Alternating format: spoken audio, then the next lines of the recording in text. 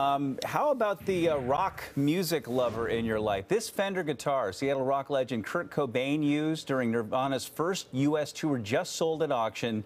And you won't believe how much. Julien's Auctions expected to sell the thing for $400,000. It sold for $86,000 more than that. Oof. Cobain, as you can see, destroyed that guitar on stage in Pennsylvania and then signed it and gave it to another musician. And now it goes for $486,000. Amazing. The